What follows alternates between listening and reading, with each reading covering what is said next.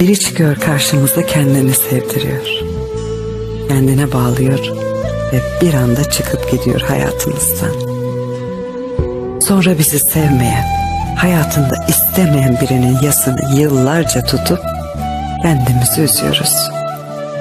Aslında en büyük kötülüğü kendimize yine biz yapıyoruz.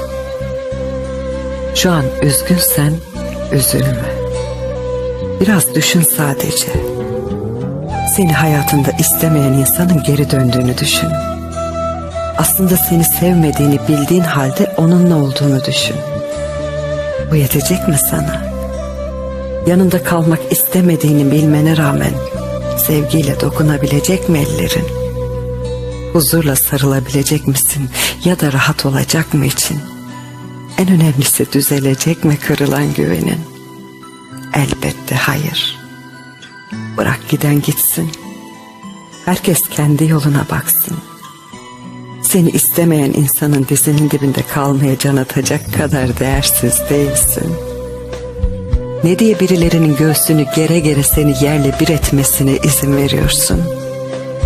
Ne diye sana kıymet vermeyen insanı hala paha biçilmez sanıyorsun? Eğer dünyanın onun etrafında döndüğünü sanıyorsan yanılıyorsun. Çünkü öyle değil. O sen sevdiğin sürece değerli ve verdiğin değer kadar vazgeçilmez. Kimseye hak ettiğinden fazlasını verme. Şimdi mutsuzsan daha fazla olma.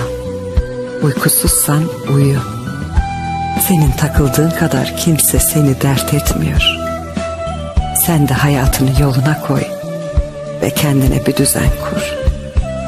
Yarın hayatının ilk günüymüş gibi mutlu ve heyecanlı uyan. Ve artık bir yerden düzelmeye başla.